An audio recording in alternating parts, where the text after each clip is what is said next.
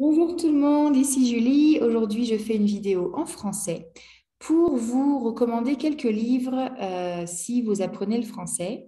Alors, ce ne sont pas des livres de grammaire ou de conjugaison, ce sont des, romans. Euh, la plupart sont écrits pour un public plus jeune, enfants, adolescents, et donc ils sont plus accessibles que des romans euh, normaux, on va dire.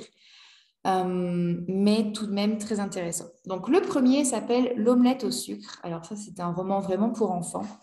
Euh, qui est super amusant parce que ça raconte les aventures d'une famille un peu folle. Euh, et je pense que ce livre, c'est vraiment un, retour en enfance, quoi, un voyage dans le temps où on n'avait pas encore de technologie, on faisait des cabanes dans le jardin, on partait en vacances avec notre famille.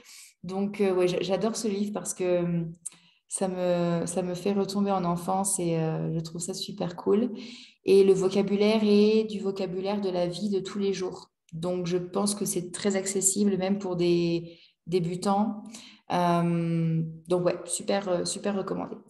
Deuxième livre s'appelle Vendredi ou la vie sauvage. Donc, ça, c'est un classique de la littérature jeunesse. Et ça raconte l'histoire d'un naufragé sur une île déserte qui n'est pas si déserte que ça, puisqu'il rencontre le personnage de Vendredi. Donc, je n'en dis pas plus. Euh, mais comme je vous dis, c'est vraiment un classique. Et je pense que même comme adulte qui parle déjà français, c'est un livre qui, qui est vraiment euh, sympa à lire, euh, très agréable. Et l'aventure et l'histoire sont vraiment captivantes. Donc, ouais, encore une fois, je, je recommande de tout cœur. Troisième livre s'appelle Matin brun donc Matin Brun, c'est l'histoire de deux petits garçons qui vivent dans une société où une dictature se met en place. Et donc au début, ils ne sont pas vraiment concernés par cette dictature, et puis petit à petit, ils se retrouvent en danger. Et donc, ça pose en fait euh, cette histoire très très courte, euh, pose la question qu'est-ce qu'on ferait si euh, il y avait une dictature dans notre pays qui se mettait en place?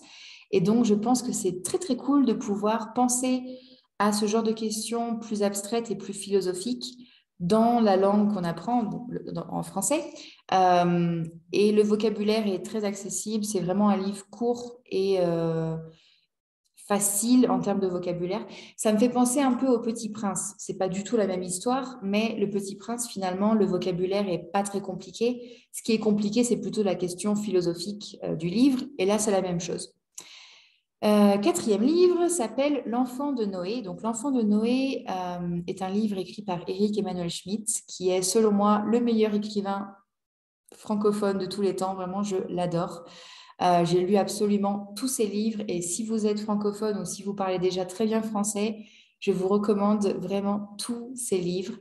et donc, celui-là parle de Joseph, un petit garçon juif qui est dans un orphelinat catholique euh, donc le, père Ponce, le prêtre euh, de l'orphelinat, protège beaucoup d'enfants juifs en, prétendant qu'ils sont catholiques.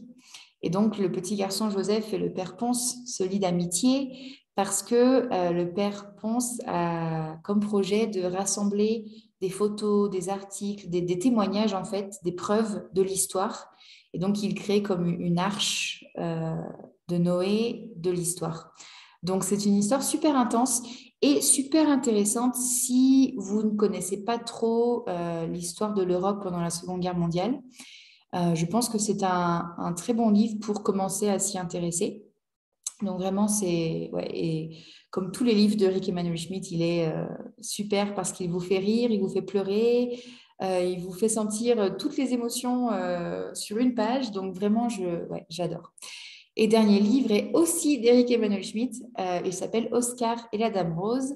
Et donc là, c'est une compilation de lettres écrites par Oscar, un petit garçon qui est atteint d'une leucémie. Je ne sais plus si c'est une leucémie ou une autre maladie, mais en tout cas, euh, il sait qu'il va mourir. Et donc, il rencontre une femme qui est euh, bénévole, volontaire à l'hôpital et qui, qui est un personnage vraiment très coloré. Et donc, cette femme lui euh, suggère d'écrire des lettres à Dieu. Donc, c'est ça, les livres, en fait. Le, livre, pardon, ce sont les lettres que ce petit garçon qui va mourir écrit à Dieu. Donc, je vous en dis pas plus parce que je pense que déjà, comme euh, synopsis, euh, c'est assez intéressant. et oui, sachez juste que c'est un livre qui va vous faire pleurer, vraiment. moi, je me souviens la première fois que je l'ai lu, j'étais dans le bus quand je l'ai terminé et j'étais en train de pleurer, mais vraiment toutes les larmes. Et ouais, c'est un livre super intense. Et à chaque fois que je l'ai recommandé à des gens et qu'ils l'ont lu, ils ont tous absolument adoré.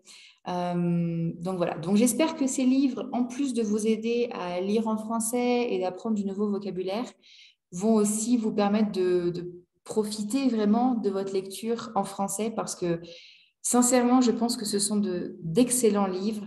Ce ne sont pas des livres euh, un peu fake ou avec du vocabulaire un peu pour bébé, euh, comme on peut trouver parfois. Ce sont des vrais livres francophones qu'on lit dans les pays francophones. Donc voilà, c'est tout pour aujourd'hui. J'espère que ça vous aide. Dites-moi ce que vous pensez de, mes recommandations euh, dans les commentaires, si vous les avez déjà lues, si vous allez les lire, euh, parce que je suis très curieuse de savoir ce que vous en pensez. Et si vous voulez plus de livres à lire en français, j'en ai encore plein, donc je peux refaire une, deuxième partie à cette vidéo.